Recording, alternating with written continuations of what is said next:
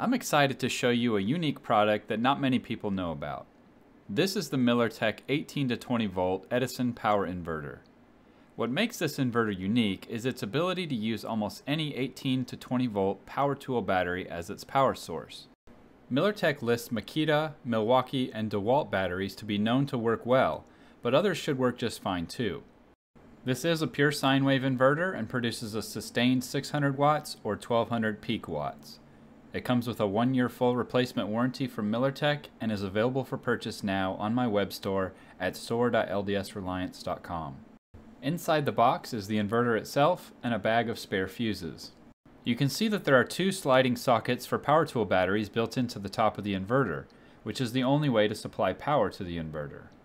On the front are two 120 volt AC receptacles, an on-off switch, a voltmeter, and a USB port.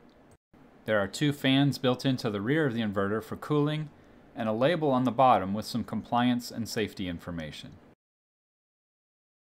All of that is well and good, but let's put it to the test. Here's my inverter and power station test rig that I'll use to put a load on the inverter.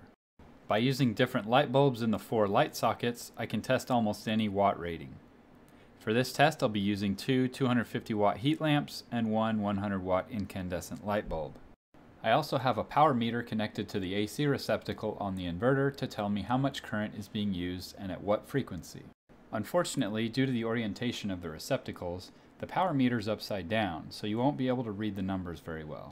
First, I simulated the max continuous load of the inverter with two heat lamps and the 100 watt light bulb.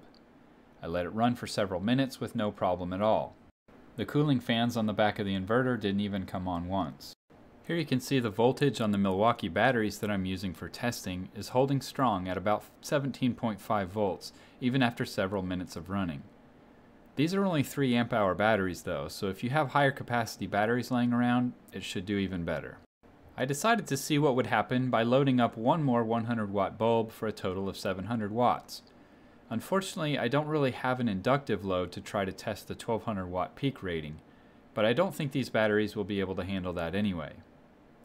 Anyways, I turned on the full 700 watts and let it run for over 30 seconds without any complaints at all from the inverter.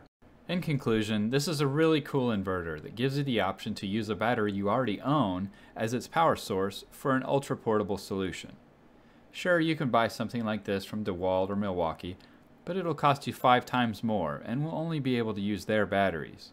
For an MSRP of $189 for the 600 watt model and a 300 watt model available for $135, you can't beat a deal like this. If you're interested in picking up one of these inverters, use the link in the video description below. Thanks for watching.